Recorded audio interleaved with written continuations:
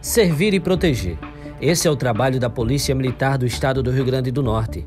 Os guerreiros estão nas ruas para conseguir ajudar o cidadão de bem e também combater a criminalidade.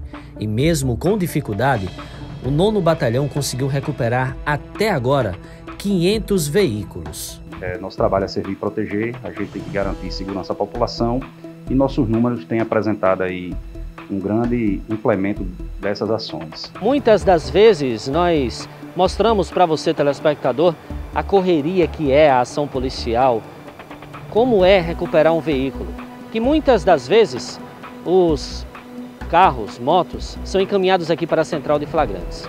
E durante a manhã dessa quinta-feira, os policiais militares do 9 Batalhão chegaram à marca em 2021 de 500 veículos recuperados. Esse ano, só no ano de 2021, nós já ultrapassamos a marca dos 500 veículos recuperados um somatório de quase 13 milhões de reais em bens devolvidos à sociedade. Olha só, só esse ano a gente já conseguiu apreender mais de 100 armas de fogo, só nesse ano de 2021, e mais de 350 pessoas conduzidas à delegacia para que fossem lavrados os procedimentos de flagrante delito. As ações de implementação do policiamento ostensivo não param, garantindo tranquilidade e segurança para a população. A segurança é a missão da Polícia Militar e nós estamos evitando todos os esforços para que a gente traga a paz e a sensação de segurança para a sociedade potiguar.